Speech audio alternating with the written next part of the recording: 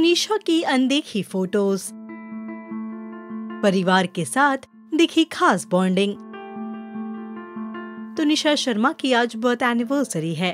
Actress अगर आज होती तो वो अपना 21वां जन्मदिन सभी के साथ मना रही होती। क्योंकि आज का दिन है तुनिशा के नाम। ऐसे में चलिए आपको दिखाते हैं तुनिशा शर्मा की कुछ अनदेखी तस्वीरें।